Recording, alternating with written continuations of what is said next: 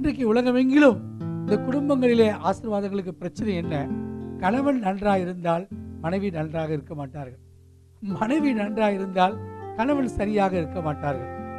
ஒரு அறுபது வயதுக்கு மேற்பட்ட ஒரு வயதான தாத்தா பீச்சில் கடற்கரையில் உட்கார்ந்து போற வர பிள்ளையெல்லாம் பார்த்துட்டு இருந்தாரு. அப்போ ஒருத்தர் கேட்டிருக்காங்க என்னையா அறுபது வயசு தாத்தா நீ?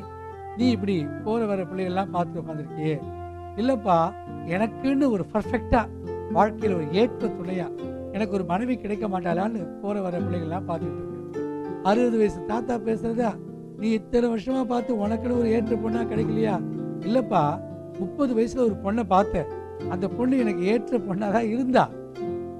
நான் கல்யாணம் பண்ணிக்கலாம்னு சொன்னேன். ஆனா அந்த பொண்ணு சொன்னா ஐயா நான் உனக்கு ஏற்றவன் நீ கண்டுபிடிச்சிட்ட.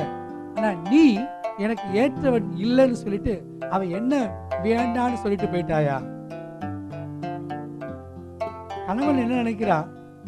மனைவி எனக்கு ஏற்றவளா இருக்கணும்னு நினைக்கிறான் மனைவி என்ன நினைக்கிறா? கணவன் எனக்கு ஏற்றவனா இருக்கணும் அப்படின்னு நினைக்கிறாங்க ரெண்டு பேருடைய நினைவுகளும் சரிதான் தவறு என்று சொல்வதற்கு இல்லை.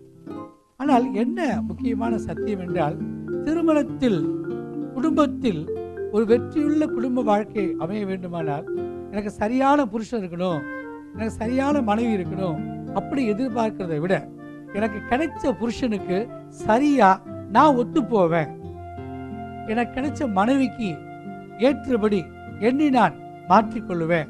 நான் அவளுக்கு ஏற்றபடி நான் என்னை மாற்றிக்கொள்வேன் என்று எந்த கணவன் நினைக்கிறானோ எந்த மனைவி நினைக்கிறாளோ அந்த குடும்பமே ஒரு பர்ஃபெக்டான குடும்பமாக இருக்கும்.